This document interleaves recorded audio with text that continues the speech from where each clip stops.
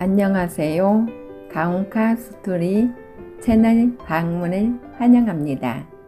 코로나로 힘든 시기를 겪은 화물업계가 위드 코로나로 바뀌면서 기대를 했는데 코로나보다 무서운 요소수 중단이라는 재앙을 맞게 될 처지에 있습니다. 화물 차량을 운전하시는 분들에게는 요소수 중단은 곧 생업에 위협이 됩니다.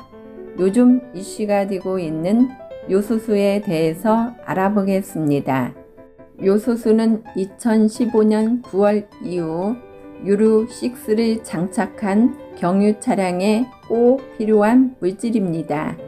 화물차례 주로 쓰이는 디젤 엔진이 미세먼지와 대기 오염의 주범으로 지목받게 되자 디젤 엔진의 오염물질을 줄여주기 위해 등장한 것이 질소 산화물 저감장치입니다. 질소 산화물 저감장치는 2015년 9월 이후 제작되어 국내에 운행 중인 경유 차량은 의무적으로 부착하게 되어 있습니다.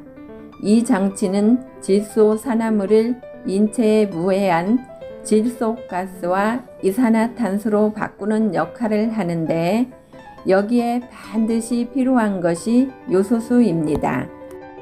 경유 차량의 배출가스를 줄여주기 위해 꼭 필요한 요소수가 중국이 수출을 제한하자 경유차를 운행하시는 화물업계에 비상이 걸렸습니다.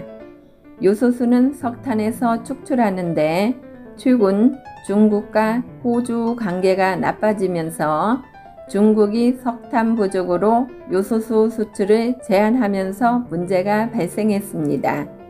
우리나라는 차량용 요소수 97%를 중국에 의존한다고 합니다. 요소수는 경유차 배기가스 오염물질을 줄여주는 물질로 요소수가 없으면 주행이 불가능한 차량이 승용차 200만 대, 화물차 200만 대 정도로 추정된다고 합니다. 화물 차량은 대부분 디젤 엔진을 탑재하고 있어 300에서 400km마다 요소수를 넣어야 한다고 합니다. 요소수가 부족해지면 아예 시동이 걸리지 않아 화물 차량 운행을 할 수 없다고 합니다.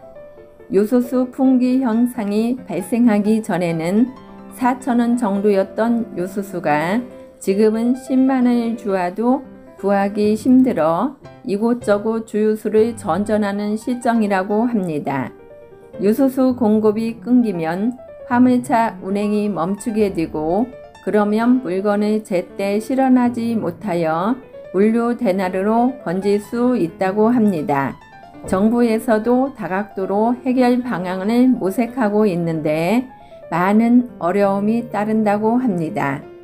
코로나 힘든 시기 요수수 대량까지 겹쳐서 화물차 운행하시는 분들의 고충이 이만저만이 아닙니다. 빠른 시일 내 해결되기를 간절히 바랍니다. 화물 차량을 운전하시는 모든 분들 안전운행 하시고 힘내세요. 시청해 주셔서 감사합니다. 영상이 도움이 되었다면 좋아요, 구독도 부탁합니다. 다음에 또 만나요. 안녕.